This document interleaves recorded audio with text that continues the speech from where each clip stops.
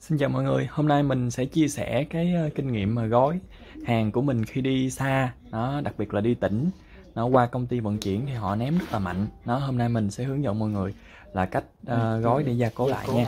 Đó, đầu tiên là con gao tê giác nó bị sụp xịt vì lý do nó rất là nặng, nó nên mình sẽ chèn một lớp bọc chống sốc bao quanh con nó để cho nó khít lại với cái khay để khi mà vận chuyển nó không bị sụp xịt nha.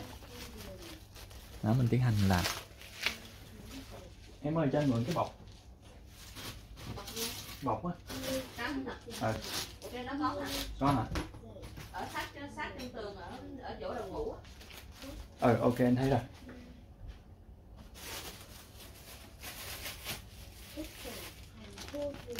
rồi sau khi mình đã tháo cái lông phanh con ra rồi tại vì con chim lửa này nó nó với cái nắp nó đậy lại nó rất, rất là dễ bị gãy nên bắt buộc mình phải tháo ra để hạn chế rủi ro thấp nhất. Đó mình tháo ra mình tháo ra. Khi mà khách nhận được thì mình tự lắp vào cái rủi ro nó giảm tới 99 phần trăm luôn. Nó gần như là nó không bị gãy nữa nhưng mình mình để trong hình nó có sẽ có một cái tỷ lệ gãy nhất định nha. Rồi mình sẽ sắp xếp lại một số cái phần mình để vô cho nó gọn lại nha đó. Mình làm cho nó càng khít càng tốt khi mà vận chuyển á mình để à, khoảng trống nó sẽ sụp xịt sụp xịt nó sụp xịt sụp xịt vậy nó sẽ làm hư cái đồ của mình đó rồi xong tiếp theo mình à, sẽ cắt một uh, ít một chống sóc nha. Mình uh, sẽ gia cố lại con gao nai. Đó, gao nai thì mình cảm giác nó vẫn còn sụp xịt đó đó nên mình sẽ tiến hành gia cố để cho nó đừng có bị sụt xịt nếu mà bị sụt xịt vậy thì rất là dễ không bị gia hư cố lại bạn. là toan đó dễ bị hư lắm. Toan mà nó nguy hiểm.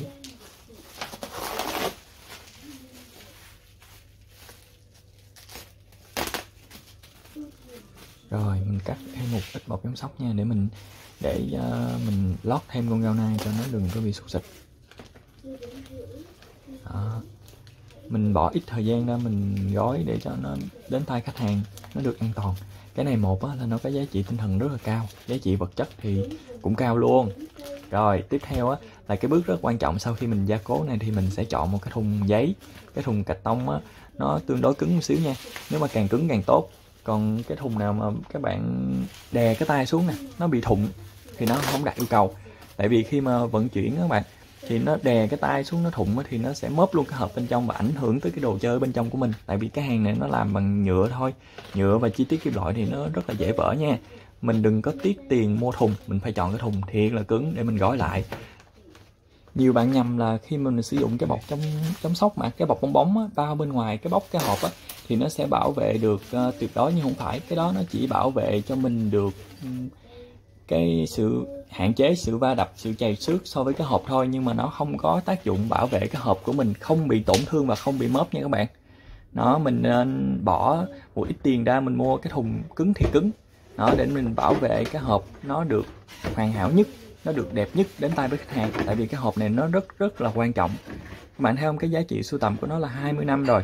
Đó, bây giờ mà nó mớp hộp thì bạn không có phục hồi lại được.